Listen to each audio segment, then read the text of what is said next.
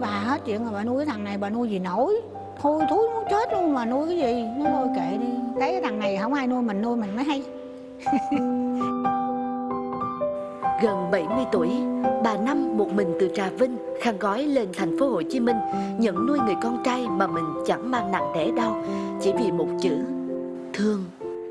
Cách đây 3 năm là tôi bị té cây Té cây gãy cổ ờ, Liệt tứ chi Thực sự lúc đó chỉ muốn chết thôi vợ con thì bỏ cha thì bệnh mẹ thì chết nó thúi thịt nó không ai dám lại gần cho tôi thấy tôi chảy nước mắt luôn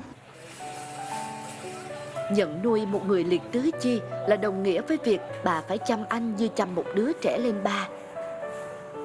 Hàng ngày lo từng giấc ngủ, đi vệ sinh và chữa trị những vết loét đã ăn sâu vào thân thể của anh Hóa.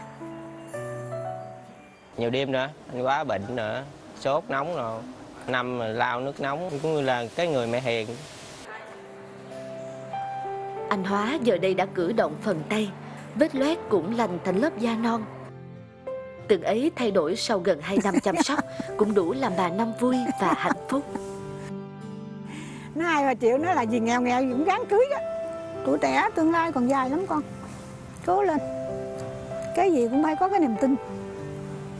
Phấn chấn lên Tuy rằng là bị như vậy rồi nhưng mà vẫn thấy hạnh phúc hơn mọi người.